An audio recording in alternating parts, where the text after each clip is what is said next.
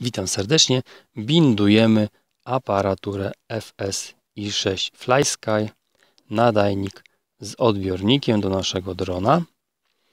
Kolejność jest taka, że bierzemy zworkę bindującą i wtykamy ją skrajnie prawy channel 6 za channel 6 dokładnie, nie do channel 6 podłączamy prąd do pierwszego wtyku i gdy już mamy tak przygotowany odbiornik, czyli prąd i zworka bindująca, przechodzimy do podłączenia napięcia. Patrzmy na diodę na naszym odbiorniku. Mruga bardzo szybko po włączeniu prądu. W tym momencie możemy przejść do uruchomienia naszego nadajnika. Jak widać, lodówka mruga szybko. Wciskamy przycisk Bind i włączamy Power On.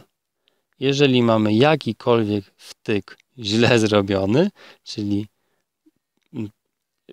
wszystkie muszą być do góry, a przepustnica na dole, przepustnica jest na, dole, ale jeden z tych był na górze i jak widać już odbiornik mruga i teraz już jest pełne światełko. Puszczamy bind i mamy sprzęgnięte.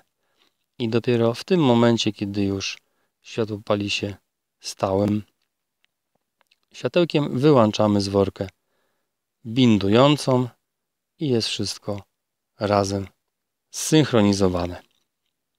Co widać po trwale palącej się diodzie LED. No i teraz już tylko podłączamy prąd. Nasza, nasz odbiornik mruga powolutku, nie szybko. Włączamy nadajnik i dioda już nie mruga w ogóle. Co widać jest